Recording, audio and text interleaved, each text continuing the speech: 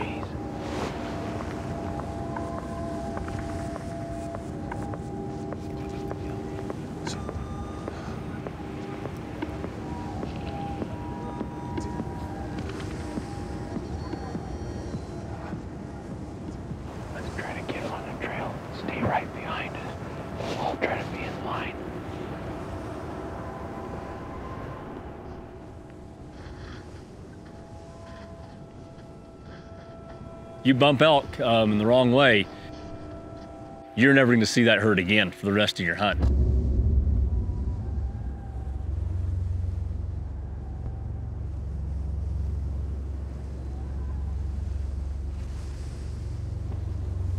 I don't want to keep going in that timber. I, there's too many bulls in there. I think we'll them. They're headed into the pines right now, in the deep timber. Don't want to chase them into there.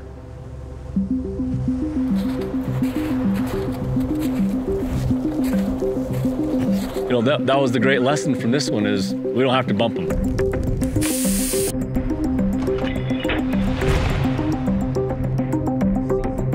Maybe we can just be conservative and, and hunt them and let them do their thing.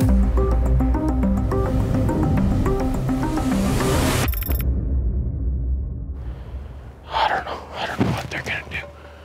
Just don't know. We knew they had a lot of options when they came back out of the timber, Let's go back there and then hunt, hunt our way into the wind later. and we had a lot of options, and we, we kind of ended up in some middle ground. You're thinking that big log that's laid across about 100 yards?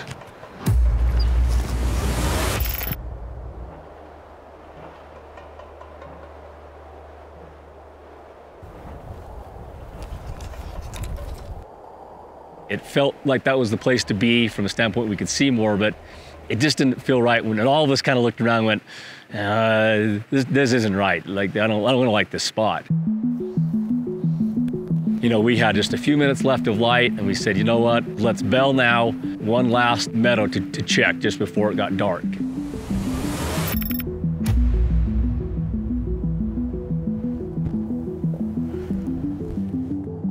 It's always fun when you follow your gut and it ends up being right.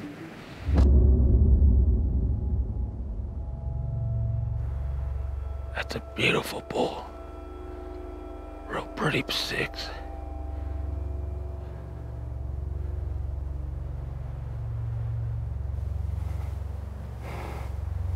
It just don't shoot with a bull behind him, okay?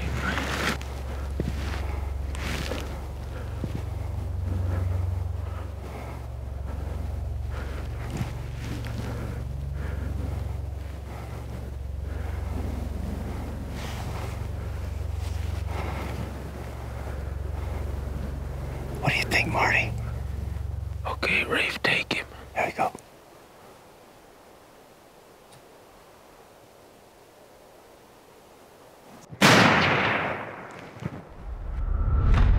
That's a heck of a bull, huh? Great bull. Yeah, no, this was a good decision, Marty. That was a great hunt. That was awesome. It's humbling. It's humbling to be a part of these types of things. And this is good. I could sit in this chair for a thousand. I, I grew up in a hunting family. My dad took me hunting all the time. It was always just part of me. I, I don't know a life that's different than that. You did good, Rafe. You did good.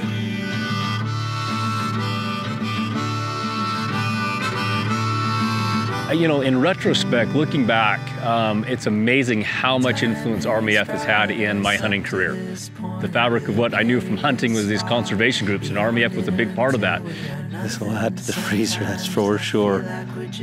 But now looking back and seeing the opportunities that are out there now as an adult, I see came from those efforts and the things they were doing even as a kid, and I was just getting involved. They're single-handedly the best conservation group we have out there. Not just about an organization, it's not about their own personal jobs. This is about as altruistic of an organization as you could have.